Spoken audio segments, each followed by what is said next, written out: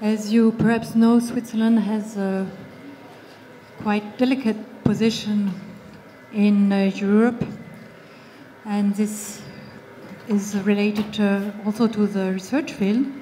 So we are very interested to know what's going on in uh, the European uh, research programs, especially in, from a point of view of the research data.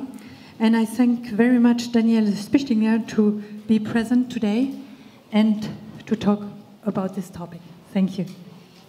Well, thank you very much uh, for the, the organizers for inviting me. Um, I think it's a very timely topic. So I used to, uh, when I started working on open access, it was very much open access to publications. So um, we were designing also our policy on open access to publications for Horizon 2020. Um, but we see that the whole issue of uh, data, open access to data, is really the new frontier, which is being uh, discussed, controversially discussed. So I think some of the the issues that were raised already in the previous presentations, uh, it's also something you know that that, that we hear a lot uh, in the interactions that we have with our different stakeholders. So uh, what I want to do is give a bit of an overview of what is our policy rationale for dealing with open access in general on the European level, then telling you a bit more on, on this pilot that we are doing so actually, I think it's quite complementary to the presentations you may have seen previously because I will go more into detail um, from our own funding activities and this pilot that we are having, what it looks like, what are the requirements, and uh, well, yeah, how is it set up? And then giving you a very brief implementation update. I mean, nearly no Horizon 2020 projects have started yet, so it's kind of difficult to talk about implementation, but we have some preliminary figures from the proposal phase. So I'll talk a bit about that, and I'll finish off with the, the wider conclusions and context. Um, I'm also quite happy that this, this uh, event here is talking about open research data. That's one of the things that I encounter quite a lot is that people talk about data but they talk about you know, different concepts. So some people talk about the Facebook data, and this, of course, uh, different issues that what we have with research data. Um, so why are we dealing with this on the European level? Well, our objective is that, you know, as the Commission, we want to optimize the impact of the research that we are funding, ultimately with the taxpayers' money. So from our own research, that's one thing, the framework programs, FP7 and now Horizon 2020, as well as uh, coordinate activities with the member states. And one way to optimize the impact of publicly funded research is open access. Not the only way, but it's one way. So we are saying, of course, we are seeing, you know, potential benefits for science, and some of those have been discussed by the previous speakers. Well, we also say potential for growth, and this is, of course, also the context that uh, we are in. The economic crisis is not over, so it's um, economic perspectives are something that I think are also very much on our mind and also the mind of our new Commission President, if you read uh, the pro program of Jean-Claude Juncker. So that's a bit the bigger context.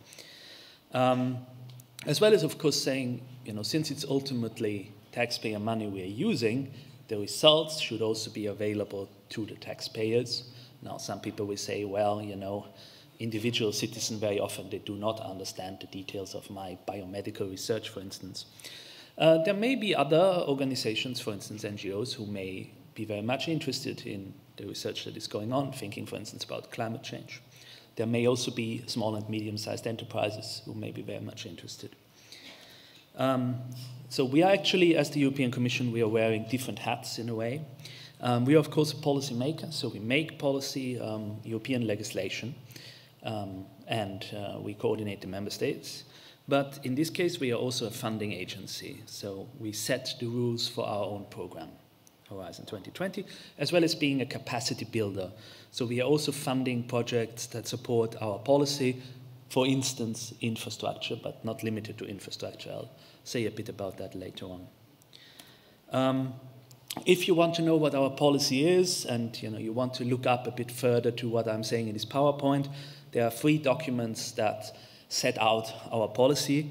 They were all launched at the same time. The first one is um, the communication on the European research area, which is much bigger than just open access. It's basically coordinating European research. It's the idea of having something like a single market for research and cross-cutting issues that are being discussed in this context, one of them being open access. And then, then more, two more detailed documents, the communication on uh, better access to scientific information, and the recommendation to the member states, which go into more detail on open access related issues, both publications, data, preservation, and so on. Um, the recommendation is, of course, a soft law instrument, as it's a recommendation. So uh, if the member states do not do what we recommend, we cannot take them to court. But we think we're making some good recommendations, so we are working with them on implementing those. This uh, is, well, in a few days, my former commissioner, uh, Quinn, so she was working on this file, I would say, together with uh, Vice President Kroes, who has already been mentioned. My commissioner was the Commissioner for Research. Um, Vice President Kroes was responsible for the digital agenda. So open access is very much a file that has been basically set out by those two uh, ladies and the two departments that are responsible for it. The Director General for Research, so it's kind of the research ministry if you want, uh, or equivalent, and the Connect, the Digital Affairs Ministry. So my commissioners and both commissioners were quite supportive of this whole idea of making research results open. So you have here, I think, one of her last statements on the matter, which was uh, at the ESOF, um, the Euroscience Open Forum this year, earlier this year. So how have we implemented open access in Horizon 2020? This is the quote from the regulation. So this is what we have um, proposed and where both the Parliament, uh, European Parliament and the Council have worked on, adapted, and in the end passed. Um, so in the regulation, we are saying we, are, we will ensure open access to publications. So Horizon 2020 has open access to publications, scientific peer-reviewed publication, as an underlying principle. Um, and we will promote open access to data. And this promotion of open access to data is basically our basis for running a pilot scheme on that. Uh, so for publications, I will not go into the detail, otherwise it would take too long, but if you're interested, we can also discuss this uh, in the breaks. So if you, you, know, you feel like looking into the legal aspects a bit more in detail, here are the documents starting from the most general. So this is our legal basis, the regulation establishing Horizon 2020, all down to the guidelines. So the guidelines are probably those that are more practical. So if you're submitting a project, you would want to look at the guidelines. Um, when we set out this pilot, you know, some people said, well, you know, it's kind of a complicated thing that you're doing. So I thought, well, let's uh, structure it according to these three key questions, and that's what I'm going to talk about for the rest of my presentation, mostly. So the questions of which thematic areas of Horizon 2020 are covered by this pilot. What kind of data are we looking at? Are we looking at, you know, raw data or other kinds of data? And what are the implications for data management. Um, so we said, and this was developed together with the colleagues in the DG Connect, that this idea of having a pilot to your research data would apply in specific areas of Horizon 2020. So on a most general level, um, Horizon 2020 is structured into three pillars, the um, excellent science pillar, the leadership in industrial technology pillar, and the societal challenges pillar. And parts of that pillar are all represented in the areas that are covered by the pilot. You will see that some areas are completely covered, like future and emerging technologies, and in others there are only parts. For instance, in secure, clean, and efficient energy, only the part on smart cities and communities is for the moment included. So in these areas, if you apply for a project, you would be by default in the pilot. If you're not in those, you are not. But then we said, well, maybe as a researcher, you also, you know, you're not submitting in these areas, you're maybe in agriculture, but you think it's a good idea. I want to share my data. And then uh, we should not be too restrictive and say, yes, but you are not in here, you cannot do it. So in all the other areas, of course, if as a researcher you want to participate, you can always participate on a voluntary basis, which we call an opt-in. So if you're not here, you still want to do it, you can join voluntarily. At the same time, and I think this has been raised uh, previously, we also see that there are good reasons uh, for not making your data open. So if you are part of this pilot because you have, you know, are in the core areas, um, you, you, we always recognize that there are reasons why you will not make data open. You will either opt out completely out of the pilot or you will restrict specific data sets. The first one, well, is the most obvious and easy if you don't generate any data. So we're also funding some support actions, organizing a conference, for instance. You have no data there that is relevant. Or you have conflict uh, with your obligation to protect the results. So, you know, you're developing a product, you are protecting the IPR, you don't make that data open.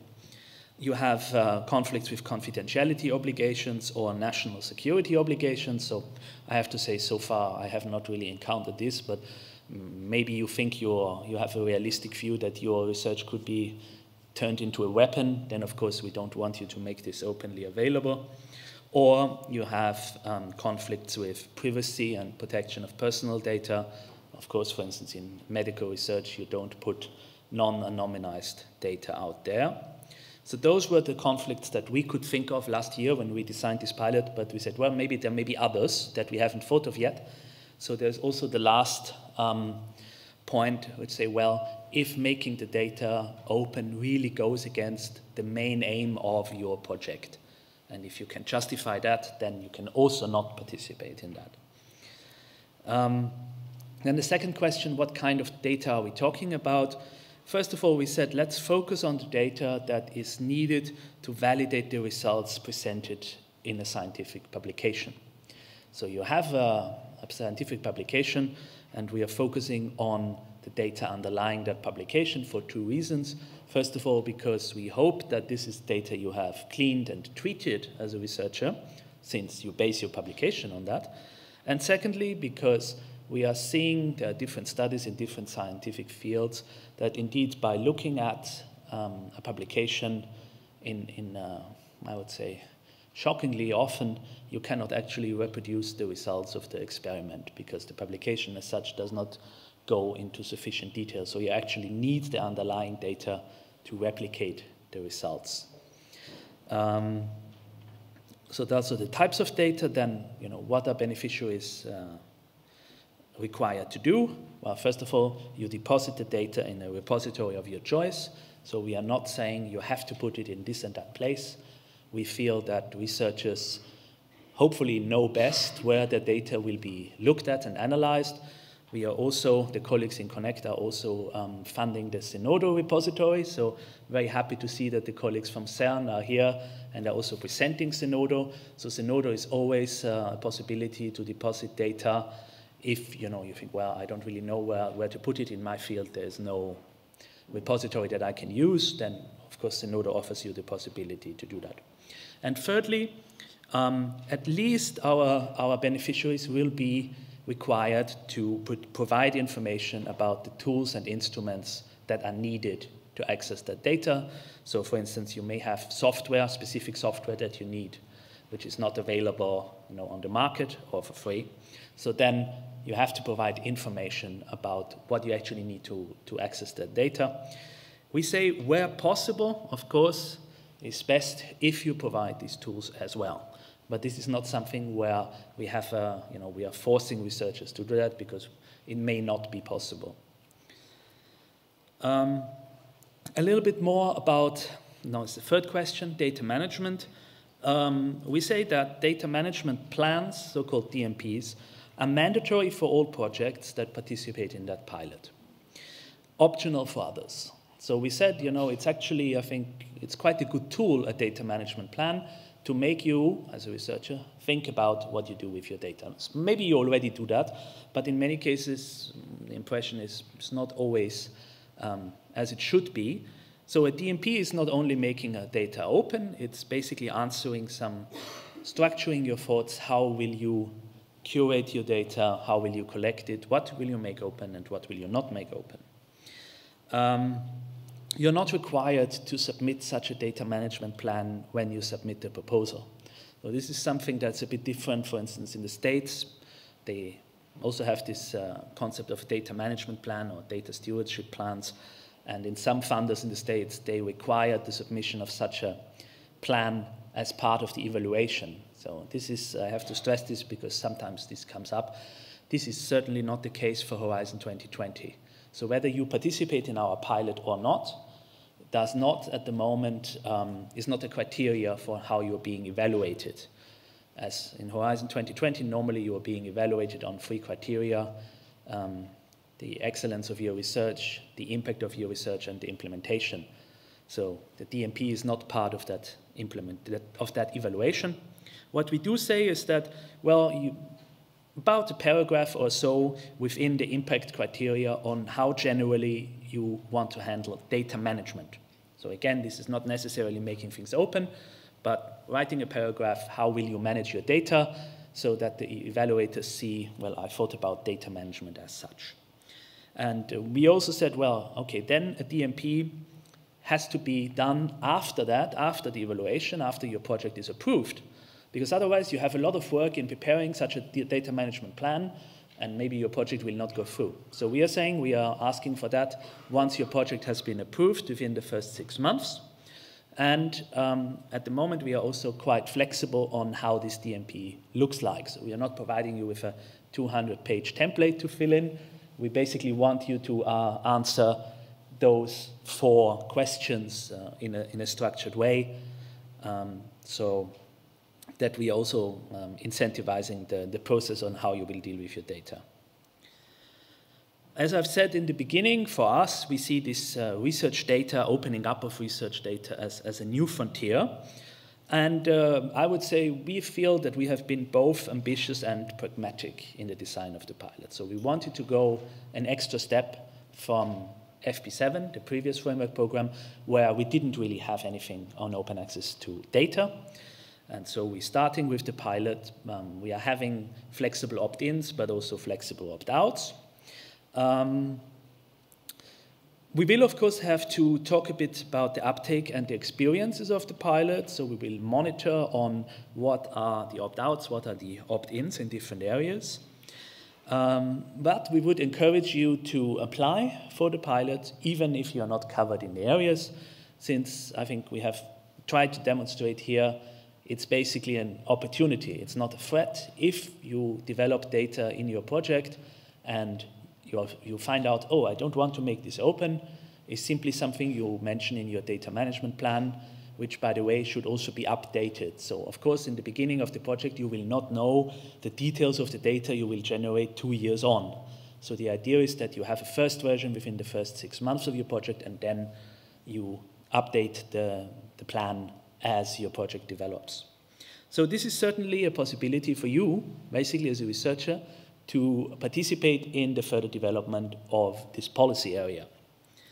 Um, this is maybe a bit too detailed, so at the moment, if you apply for a project, you will see forms like that, where we are asking on the, on the left, um, if, you, if you are in the core areas and you, do, you want to not participate, why?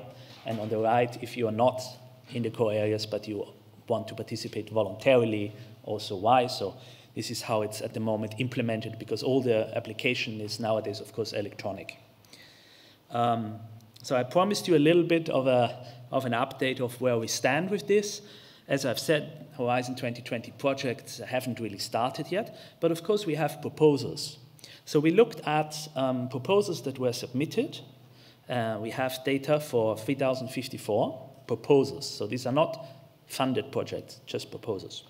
But we see that in the core areas, which I showed you before, these are per default in, we have an average opt-out rate from 24.2%. Uh, so this is actually, to me, um, um, quite a good uh, first result, because it shows that you know, there are not 80% of people saying, I don't want to do this. Of course, it uh, depends very much which area you are in, but generally, they are in the 20s, the opt-out ranges. Uh, and for the voluntary opt-in, so for those who are not covered by the pilot, but they have the opportunity if they want to, we see 27.2% uh, of proposals actually saying, yes, I want to do this. And here we see an even bigger um, variation among the different areas, so from 9% to up to 50%. Um, so we can say it's early days. You know, uh, it's, we are starting with this, but I think the first you know, the first results from the proposals are okay, are encouraging, um, since we have below 30% opt-out ranges. Of course, I think what we need to do now, what we are actually doing at the moment, is following this up um, in the full life cycle of the projects, so during and after as well. Um, and this is now we are more or less in the phase where the grants are being signed, so now it's getting official.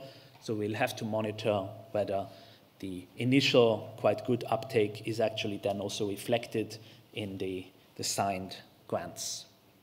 Uh, a few words also on coordination and support actions. Um, as I've said before, we are also uh, supporting, uh, giving money for open access related actions.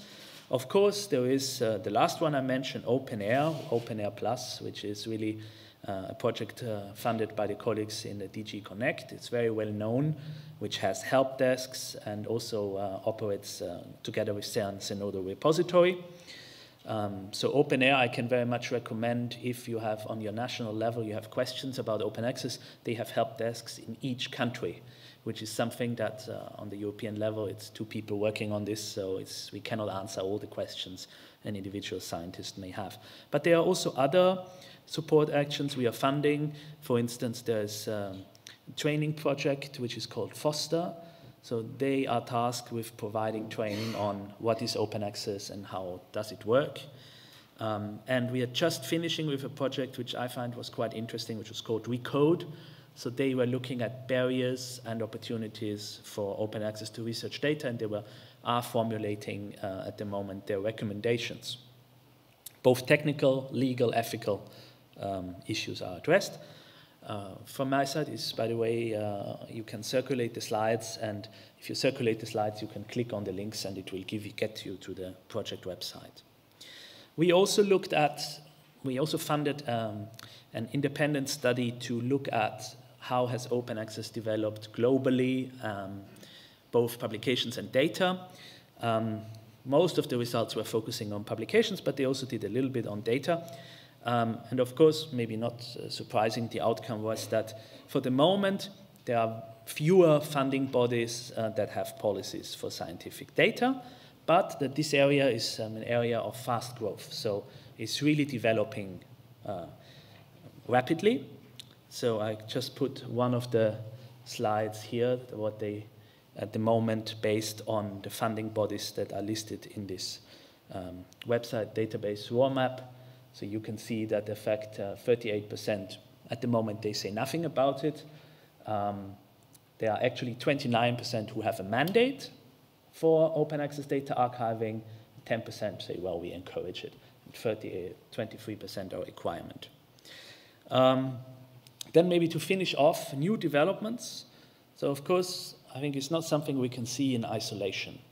Uh, it's open access to research data or basically research data as such is part of the changing scientific system. So the fact that we don't do science the same way we did it in the 1970s based on inter alia the IT revolution. So the fact that we have all this massive amount of data available nowadays on the internet um, also globalization, globalization of research, how different researchers cooperate.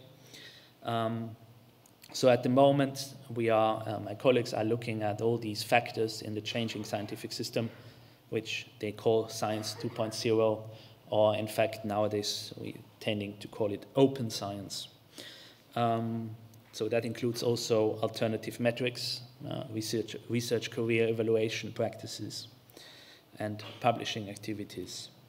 So basically, we're saying the scientific system is changing in a way that is not just one aspect. It's not just that as a researcher I have a blog and that's the great news. No, it's really a, a more general change in the way all of these uh, production cycle is affected from analysis to publication to review and then again conceptualization and data gathering and there are some examples here on how this is done at the moment so we just finished a consultation on this more bigger aspects of uh, how the scientific system is changing and uh, the colleagues are working at the moment on uh, making the results of that consultation public so we see it very much as one aspect of, as I've said, changing scientific system, but we also see it as a means to improve knowledge circulation and um, also um, economic aspects, providing value for the taxpayers' money.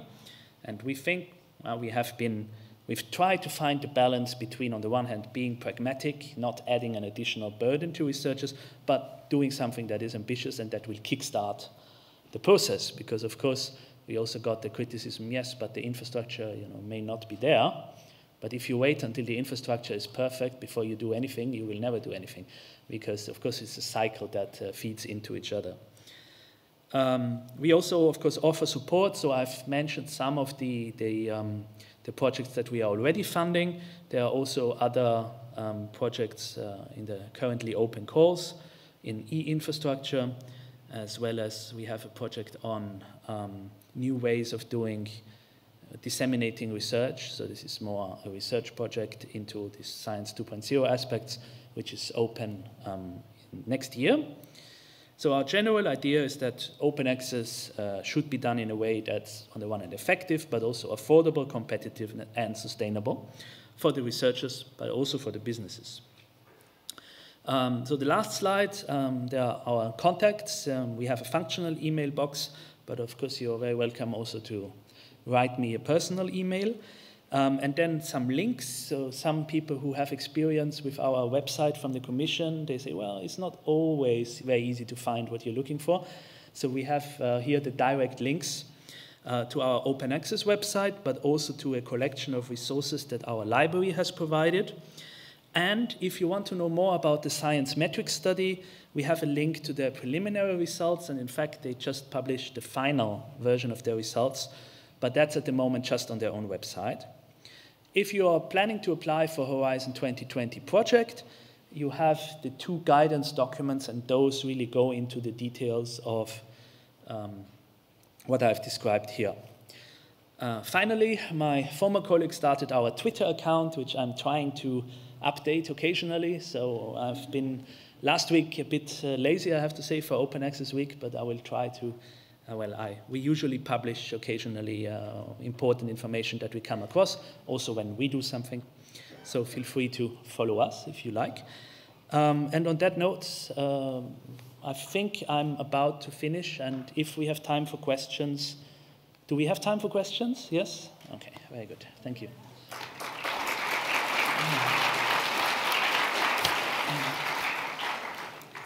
Thank you very much for this very precise, concrete presentation. Uh, there are some questions.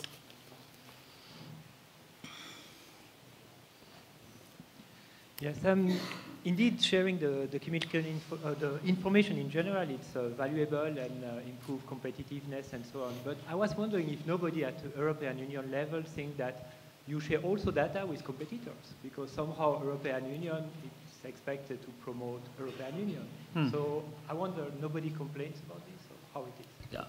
No, of course, this is, uh, this is an issue, competitiveness, you know, what are our competitors doing? So that's, of course, something that also in this presentation I had to cut a little bit because I used to have more on the international aspects, both for open access to publications and for open access to data.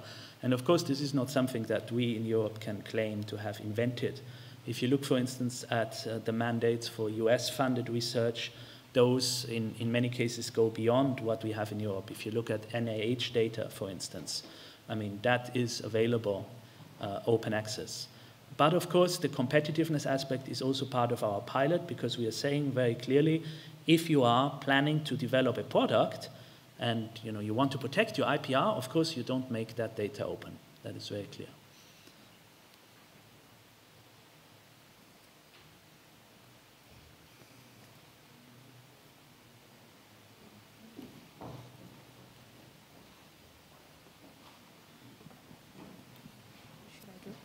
Hello? Thank, thank you for this very precise and um, presentation. I have a question more related to the open access related to scientific publication. How do you merge that with the open, open access data? What, what are you doing there? And uh, maybe some thoughts about uh, fundings, uh, hmm? problems, or so on. Thanks. Okay, so that's another thing that I kind of cut from my presentation because I was asked to focus on data. But very briefly, um, as I've said, it will become an obligation if you have a grant from uh, Horizon 2020 to publish in open access. But we leave it to the researcher what ways of open access publishing you want to, to do. So basically there is you know, the green route that you may have heard about. Basically you publish in a normal journal and at the same time you put your publication in a repository and after a certain embargo period it becomes available for free but in the repository. So that's one option to do. The other option is to go for the gold route, where you publish immediately, but then the publisher asks uh, for an author or article processing charge. And this author processing charge can be part of your eligible costs. So you have your project, you set away some pot of money to cover that. So both of these are, are possible. And we are now also starting a pilot action, which is quite limited since it's uh, another pilot, which is about publication costs in open access after the project has ended. Because this was a criticism that we say, well, your publication, you have it at the end, but you cannot pay the gold way because your grant is over. So we are setting up a separate fund as part of a larger EU project to, to uh, have a pilot action on funding that. So that's very briefly, that's what we are doing on the publication side. I, I have a question over here. Um, ah, okay. uh, so I'm excited about the uh, open data pilots and, and, what will come of them, but I have a slightly more challenging question for you, perhaps. Um, uh, so, we, so we have Zenodo, as you mentioned, as an option, uh, which is kind of a, a, generic repository for smaller data sets. Uh, we have increasingly we have uh, libraries and institutions coming up with um, ways to deposit data sets in their institutional repositories. But um, a lot of researchers I talk to are much more interested in disciplinary repositories that um, where they know the data will be curated in the long term by subject experts and people who understand the data, and there's user support available for people using the data. And I wonder um, if, uh, if you could say who, whose job do you think it is to fund those sorts of services? Well, for, for specific repositories and infrastructure, uh, the EU funds quite a bit uh, of those which are maybe not, you know, primarily, or at least in their conception, they may not always have been designed as open access uh, infrastructures, but more and more they are becoming open access. For instance, uh, I put here GEO GEOSS, which is in the environmental sciences, is also actually larger than just uh, the European Union, or Elixir in the life sciences, which are, uh, is funded by the Commission and has then an open access uh, component, repository component. Whether we can fund an infrastructure for each area, I mean, that's, uh, that's another issue. I don't think we have at the moment a plan for each uh, scientific area to fund an infrastructure for open access. Uh, but that's also something maybe we have to, to, to look into. That's uh, for the future. Um, yeah, that's more on the, on the infrastructural sides of things.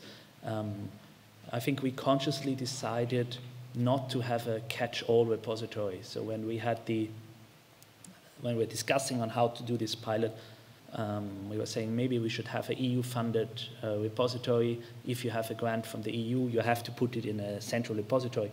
But then we said, well, okay, but maybe this would not be accepted in some areas because they have their established repositories.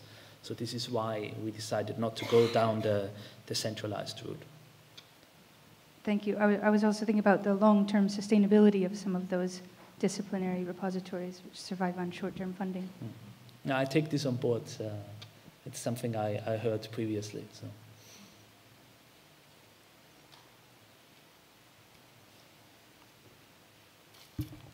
So thank you very much again. Thank you. Uh,